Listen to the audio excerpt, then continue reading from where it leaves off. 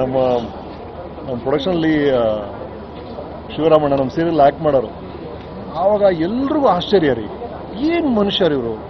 ಒಂಬತ್ತು ಗಂಟೆ ಕಾಲ್ಶೀಟ್ ಅಂದರೆ ಒಂಬತ್ತು ಗಂಟೆಗೆ ಕಾಸ್ಟ್ಯೂಮು ಮೇಕಪ್ ಹಾಕ್ಕೊಂಡು ಪರ್ಫೆಕ್ಟಾಗಿ ರೆಡಿ ಇರೋರು ಶಿವರಾಮಣ್ಣ. ಮೂರು ಪೇಜ್ ಡೈಲಾಗ್ ಕೊಡಿ, ಒಂದು ಪದ ಮರೀತಿಲ್ಲ ಅವರು ಈ ವಯಸ್ಸಲ್ಲೂ. ಅಷ್ಟು ಪರ ಎಲ್ಲರೂ ಹೇಳೋರು ಯಂಗ್ಸ್ಟರ್ಸ್ ಎಲ್ಲ ಇವರಿಂದ ಕಲಿಬೇಕು. ಇಂತ, ಹಿಂಗಿರಬೇಕು ಪ್ರೊಫೆಷನಲ್ ಅಂದರೆ. ವೃತ್ತಿಪರ ಅಂದರೆ ಶಿವರಾಮಣ್ಣ ಥರ ಇರಬೇಕು ಅಂತ ಒಂದು ಉದಾಹರಣೆ ಹೇಳೋರು. ಆ ಥರ ನಮಗೆಲ್ಲ ಉದಾಹರಣೆ ಇದ್ದವರು ಶಿವರಾಮಣ್ಣ. ಅವರ ಶಿಸ್ತು, ಅವರ ಸಿನ್ಸಿಯರಿಟಿ ಅವರ ನಾಲೆಜ್ ಇವರೊಂದು ಇಲ್ಲೊಂದು ಇಲ್ಲೊಂದು ಲೈಬ್ರರಿ ಮಾಡಿದ್ದಾರೆ ಶಿವರಾಮಣ್ಣ, ನೀವು ನೋಡಬೇಕು. ಅಷ್ಟು ಸಾಹಿತ್ಯದ ಬಗ್ಗೆ ಒಲವು ಅವರಿಗೆ ಅಷ್ಟೊಂದು ಜ್ಞಾನ, ಎಷ್ಟು ಗಂಭೀರವಾದ ವ್ಯಕ್ತಿ. ಅಂಡ್ ಅವರು ಮಾಡ್ತಿದ್ದ ಎಕ್ಸಸೈಸ್ ಅವ್ರು ಕರ್ನಾಟಕದಲ್ಲಿ ಸ್ಟೇಟ್ ಲೆವೆಲ್ ಬಾಡಿ ಬಿಲ್ಡರ್ ಆ ಟೈಮಲ್ಲಿ ಈಗಲೂ ಏಯ್ಟ್ ಇಯರ್ಸ್ ಅಷ್ಟು ಚೆನ್ನಾಗಿ ಫಿಸಿಕ್ ಮೇಂಟೈನ್ ಮಾಡ್ತಾ ಇದ್ರು. ಬಹಳ ಕೊನೆ ದಿನಗಳವರೆಗೂ ಬಹಳ ಬಹಳ ಕರೆಕ್ಟಾಗಿದ್ದವರು ಎಲ್ಲ ರೀತಿಯಲ್ಲೂ. ಇನ್ನು ಮುಂದೆ ಶಿವರಾಮಣ್ಣ ನಮ್ಮ ಜೊತೆ ಇಲ್ಲ ಅಂತ ನಾನು ಎಷ್ಟು ಸಲ ಭೇಟಿ ಮಾಡಿದ್ದೀವಿ ರಮೇಶ್ ಭಟ್ ಅವರು ನಾನು.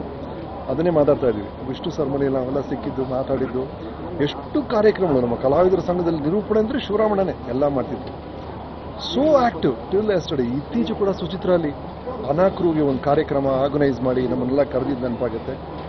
ಅವರ ಚಿತ್ರಗಳು ನೆನಪಾಗುತ್ತೆ. ಅವರ ಶಿಸ್ತು, ಅವರ ವೃತ್ತಿಪರ ಬಿಹೇವಿಯರ್ ಎಲ್ಲದಕ್ಕೂ ನಾನು ನಮನ